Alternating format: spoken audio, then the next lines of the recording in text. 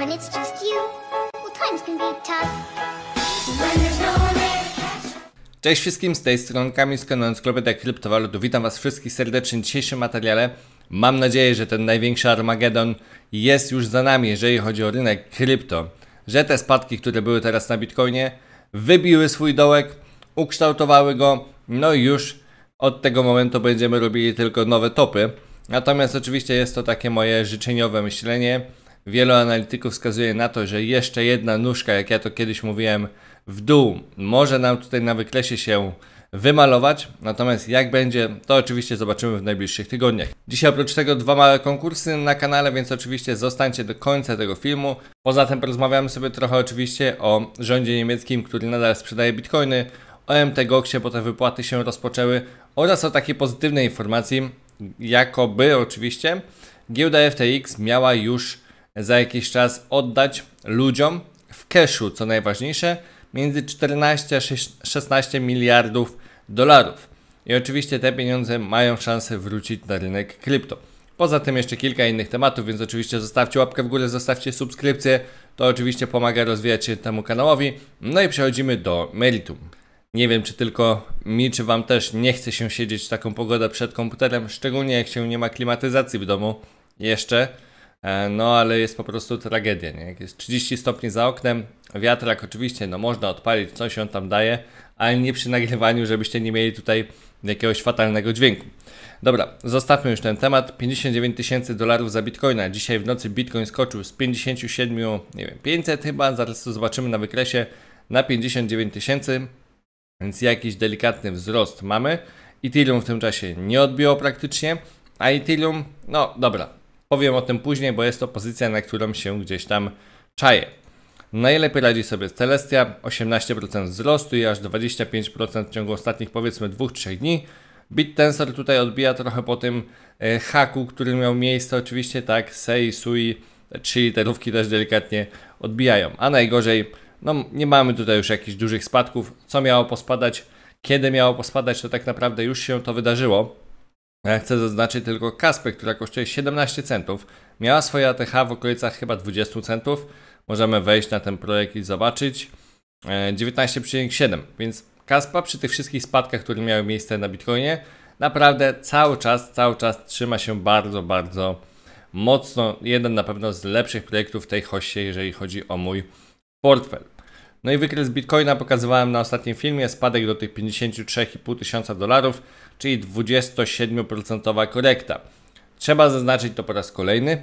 Takie korekty podczas hossy poprzedniej, jeszcze poprzedniej i jeszcze poprzedniej się zdarzały, a nawet te spadki bywały większe. Więc jeżeli miała to by być taka korekta w hossie, w tym cyklu wzrostowym, byłoby to całkowicie normalne dla Bitcoina. Nie jest to, tak jak już powtarzałem wielokrotnie, nic nowego. Później mieliśmy jeszcze jeden spadek, druga nóżka na 54 tysiące dolarów. No i od tego na razie, na razie mamy same praktycznie 4-godzinowe świeczki wzrostowe. Czy pójdziemy dalej na kolejne szczyty w tym momencie? No, nie chcę tego oceniać w tym momencie, bo, bo jeszcze wiele się może wydarzyć. Mamy cały czas wakacje, mamy 10 lipca, jak ja to nagrywam. Rynek nadal nie jest zbyt chłonny do inwestycji. E, Te, te wolumeny no nie są cały czas zbyt wielkie.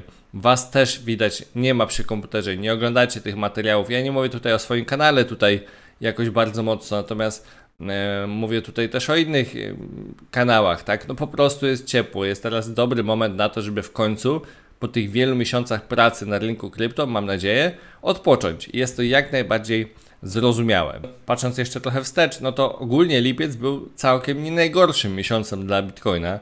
Jak sprawdzałem jakiś czas temu ten taki wykres pokazujący miesiąc po miesiącu, e, początek i koniec miesiąca na Bitcoinie, czy Bitcoin w danym miesiącu rósł, czy spadał, to ten lipiec nie był akurat tragiczny. Dobra, tyle jeżeli chodzi o wykres Bitcoina. Przejdźmy do tej pierwszej informacji. Bilioner, e, miliarder z Pantery, CEO Dan Morehead ignorował food i kupował Bitcoina dokładnie 11 lat temu. No teraz to mamy 11 lat temu i 5 dni. Czyli zobaczcie, 5 lipca w mojej urodziny wysłał takiego maila, że teraz powinni kupować Bitcoina za 65 dolarów. Bitcoin jeszcze niedawno kosztował 130 dolarów, teraz kosztuje 65. No i mogą za tę kwotę, którą on chce położyć na bitcoina, mieć w tym momencie 308 tysięcy bitcoinów. Jeżeli kupili wtedy te bitcoiny, no to oczywiście szybka kalkulacja, mają bardzo dużo pieniędzy. Bardzo dużo pieniędzy, taka szybka matematyka. Oczywiście e, ma zamiar kupić 30 tysięcy bitcoinów ze swoich własnych pieniędzy. Czyli tutaj mówimy o firmowych pieniądzach, a tutaj planował kupić je za prywatne pieniądze. Czy do tego doszło? Nie wiem, nie sprawdzałem szczerze mówiąc, natomiast zobaczcie jak to się mocno zmieniło. 65 dolarów za bitcoina, a teraz 65 tysięcy. No prawie 59 teraz, ale 65 było niedawno, więc no naprawdę bardzo, bardzo fajny zakup. Michael Saylor też ignoruje food, pokazuje nam tutaj największych wygranych, jeżeli chodzi o zwrot z inwestycji od 2011 roku w tym wypadku. No i widzimy, że Bitcoin tutaj pokonał wszystkie inne aktywa. Jeżeli chodzi o stopę zwrotu, oczywiście, no to tutaj jest 1 880 tysięcy, raz, dwa, trzy, cztery, pięć, sześć, siedem, osiem, osiemnaście nawet milionów procent do przodu. Rocznie daje nam to 145%. Więc oczywiście tutaj procent składany zrobił swoje. Dalej mamy tutaj jakiegoś Nasdaqa, który sobie dobrze poradził. Złoto 22% do góry przez te ostatnie 13 lat. E, commodities 6% w dół, czyli można było na czymś stracić przez te ostatnie kilkanaście lat hossy ogólnoświatowej tak naprawdę.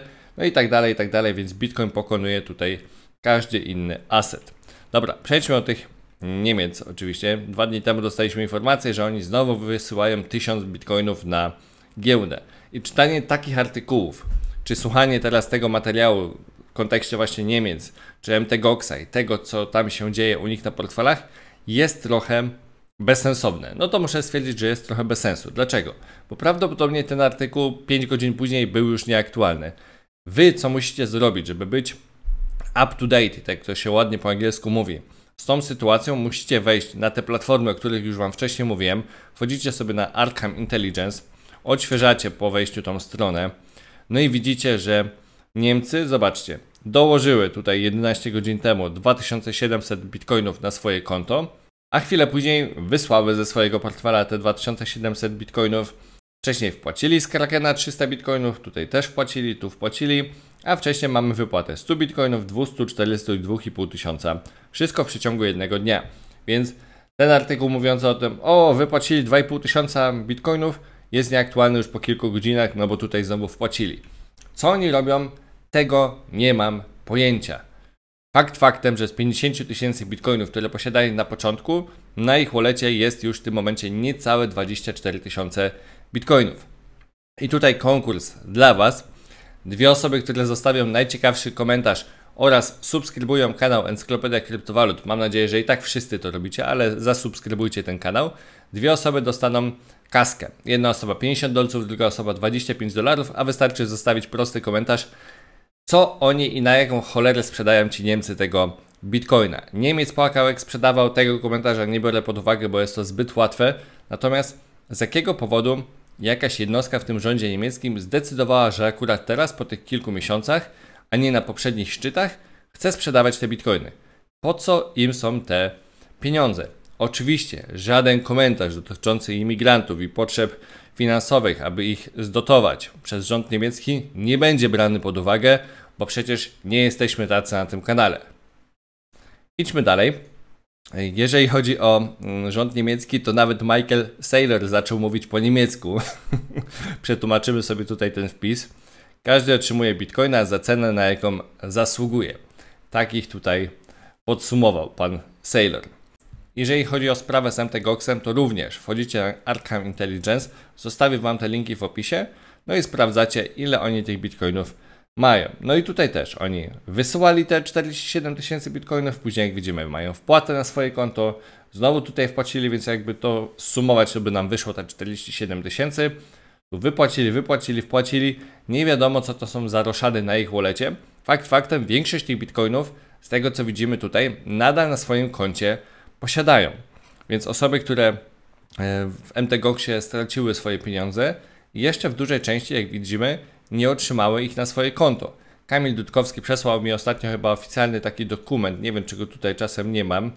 E, nie, nie, nie mam, nie otworzyłem go tutaj, no ale właśnie mówiący o tym, że te wypłaty się rozpoczęły i niektórzy już dostali, a część osób nie dostała tych środków, ponieważ tak jak już mówiłem ostatnio, sprzedały te swoje środki czy prawo do tych bitcoinów firmom, które no stwierdziły, dobra, zaryzykujemy, może te bitcoiny kiedyś uda nam się odzyskać. KO Kryptowaluty napisał tutaj jeszcze, Niemcy wczoraj spuścili na giełdy prawie 17 tysięcy bitcoinów, jednak nie sprzedali e, wszystkiego. Dzisiaj w nocy ponownie wróciło z giełd ponad 3000 bitcoinów, sumarycznie zatem dorzucili na rynek 13 tysięcy bitcoinów podaży. Mm, to jeszcze odnośnie tego niemieckiego tematu i taka ciekawostka tylko, E, Alior Bank, a raczej ich biuro maklerskie, zaczyna oferować kontrakty CFD na Bitcoina i Ethera. Jednocześnie ten sam bank prawdopodobnie zablokuje Wam rachunek, jak wyślecie środki na zewnętrzną giełdę.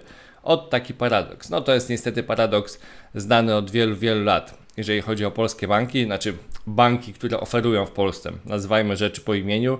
E, mi również to się kiedyś zdarzyło w takim banku, co ma skrót trzyliterowy że po wpłacie chyba 10 tysięcy, e, no niestety, ale moje konto zostało zablokowane, telefony i to nie tylko konto indywidualne, ale również konto e, firmowe. Więc to jest też najciekawsze, że za jednym zamachem postanowili odciąć mnie całkowicie od moich cyfrowych pieniążków. Witamy w świecie wykreowanym przez CBDC. Kanada o tym wie doskonale, Australia również, także głosujcie, głosujcie na tych właśnie, którzy chcą iść w tą stronę. Pozdrawiam oczywiście wszystkich głosujących ostatnio w wyborach we Francji na lewą stronę. Niech Wam się wiedzie doskonale. Idźmy dalej. MTGOX ruszył 47 tysięcy bitcoinów, ale to oczywiście nie dotknęło, nie dotknęło ceny. Tutaj Ki Jung Yu z CryptoQuanta pisze. No i to jest to, co powiedziałem przed chwilką, że prawdopodobnie albo doszło do wysłania na jakiś prywatny portfel tych firm, które skupiły prawa do użytkowania tych bitcoinów, no albo po prostu są to nadal jakieś roszady, wewnętrzne transfery, przesyłanie z portfela na portfel i przygotowanie się tak naprawdę pod te finalne wypłaty. Z pozytywnych informacji, no to kto postanowił skupić dołki? ETF-y. ETF-y, które wcześniej nam trochę pozrzucały tego bitcoina, ostatnie kilka dni bardzo pozytywny inflow 143, 294, 216, naprawdę bardzo ładnie E, skupują tego bitcoina w ciągu ostatnich dni, więc oni tych spadków się nie wystraszyli, a te bitcoiny po prostu dorzucili do swojego konta. Oczywiście mówimy tutaj w milionach dolarów te wartości, tak? A teraz drugi konkurs dla tych, którzy handlują na kontraktach futures. BitGet przygotował taki konkurs. On trwa jeszcze przez 5 dni i 5 godzin w tym momencie. Jeżeli wejdziecie na futuresy na BitGetie i będziecie handlowali do tokena BGB, czyli do ich tego natywnego tokena, no to będzie pula nagród się zwiększała, w zależności oczywiście od użytkowników i od wolumenu, jaki tutaj wykreujecie. Do wygrania w tym momencie 20 tysięcy tokenów BGB, ale to się jak widzicie zwiększa. Co trzeba zrobić? Trzeba po prostu wejść na giełdę. Oczywiście, jeżeli nie macie jeszcze konta, to link macie w opisie. No i w parze do BGB tokena po prostu handlować. Czyli mamy BGB do USDT, wchodzimy sobie na kontrakty futures i handlujemy. Góra, dół, góra, dół, góra, dół. I osoby, które po pierwsze wykręcą największy wolumen, biorą udział w jednym rankingu, tutaj wolumenu obroty, a drugi ranking jest dla osób, które po prostu uzyskają największy zysk. Tak to jest również tutaj opisane w, w tych zadaniach, w wprowadzeniu do promocji. Czyli jeden konkurs jest dla osób, które po prostu kręcą wolumen, a drugie, które zarobią najwięcej. Jeżeli chcecie wziąć udział, to oczywiście zachęcam. Link ze wszystkimi informacjami macie w opisie tego materiału. Dobra, idziemy dalej. Przejdźmy sobie do Ethereum. Aplikacje na ETF-a Ethereum zostały zaktualizowane przez wiele, wiele firm, przez Fidelity, Vanek, Franklin, 21 Shares, Grayscale oraz BlackRock. Te firmy zaktualizowały ten dokument, który oczywiście jest wymagany, aby klepnął im SEC ich ETF-a, więc jesteśmy, no jesteśmy coraz, coraz bliżej, aby ten Ethereum ETF został wprowadzony na rynek. Kraken życzy tutaj powodzenia. Kraken potężna giełda, która walczyła z SECiem, więc oni też teraz trzymają, aby tym firmom się to udało. Teraz ciekawy wpis od Larka Davisa i tutaj swój komentarz może odnośnie tego, dlaczego chce objąć pozycję jeszcze na Ethereum. Lark Davis, tego pana może nie będę komentował. Jego przeszłość jest y, różna. Kiedyś naprawdę fajne, fajne filmy robił, takie edukacyjne, później zaczął promować wiele skamów niestety. życie, tak? To się czasem kończy. Ale co do tego Ethereum, bo widziałem, że po polskim Twitterze też lecą kopie jeden do jednego tego jego wpisu. Jeżeli chodzi o Ethereum, zaraz będziemy mieli wpływ cenowy na Ethereum, spowodowany oczywiście skupowaniem Ethera, prawdopodobnie jeżeli jeszcze go nie skupili, przez ETF. Niemcy, którzy zrzucają teraz Bitcoina, nie mają Ethereum do zrzucenia nam na głowę. MTGOX nie ma Ethereum, które spuści nam na głowę. Rząd amerykański nie ma Ethereum, które będzie chciało spuścić na nas. I tak dalej, i tak dalej. A w dodatku oczywiście supply, czyli to ile, bit, to ile Ethera jest na giełdach, jest na 8-letnim dołku. Jest to tylko i wyłącznie 10% całego supply. Więc nie ma też tej ciągłej presji sprzedażowej, jeżeli chodzi o Ethereum, a w dodatku trzeba pamiętać o tym, że Ethereum jest deflacyjne. Jak Gwei jest wyższe chyba niż 15 wtedy było, nie wiem czy coś się w tym temacie zmieniło, chyba nie, no to oczywiście Ethereum jest spalane, a w momencie kiedy to Gwei jest poniżej, no to normalnie dochodzi do tej małej, małej inflacji. Więc Mam zamiar oczywiście założyć za niedługo, być może to się zdarzy nawet dzisiaj. Czekałem na potwierdzenie wybicia 59,5 tysiąca dolarów na Bitcoinie. Jeżeli do tego dojdzie, no to chciałbym jakąś małą tutaj dźwignię założyć na Ethereum. E, prawdopodobnie dźwignię razy 3 albo razy 5, natomiast z większą pozycją i podtrzymać tą pozycję po prostu przez dłuższy czas. Jak ta pozycja będzie założona, to pewnie dam Wam znać, ale pamiętajcie, jest to tylko i wyłącznie moja decyzja że ja sobie taki eksperyment chcę zrobić. Dźwignię razy 3, no to ta likwidacja będzie naprawdę e, nisko, w okolicach 2000 dolarów w tym momencie, więc musielibyśmy wtedy już skończyć hossę, według mnie. Nawet jeżeli Bitcoin miałby zaliczyć jeszcze 52, 48, 42 tysiące dolarów, no to nie powinniśmy spać poniżej tych 2000 dolców na Ethereum, a jeżeli lecimy poniżej, no to już po prostu hossa jest e, zanegowana i ta moja pozycja na Ethereum pójdzie się. Mhm. No i całe moje etery, które miałem kupione i tak dalej, też niestety nie będą e, mogły być zrealizowane tak wysoko, jakbym tego chciał. Dobra, przejdźmy dalej. FTX odda, odda od 14 do 16 miliardów dolarów w gotówce. W gotówce. Co najważniejsze w gotówce, osobom, które zostały pokrzywdzone przez FTX-a. I wiele osób teraz pisze, no tak, no ale skąd oni mają mieć te środki? Przecież oni te środki będą musieli sprzedać, żeby tą gotówkę tym ludziom wypłacić. Guzik, prawda, bo parę miesięcy temu przecież mieliśmy informację, że pozbywali się tych środków, że sprzedawali je, coś tam Grayscale kupił, ktoś tam kupił i tak dalej i oni na 99% te kryptowaluty obchnęli już. Nie ma tej presji sprzedażowej od FTX-a, oni się pozbyli tych kryptowalut i z tego co kiedyś pisali w artykule, mają nawet więcej pieniędzy niż powinni oddać, więc jeszcze cwaniaczki na tym będą chciały, chciały zarobić, tak?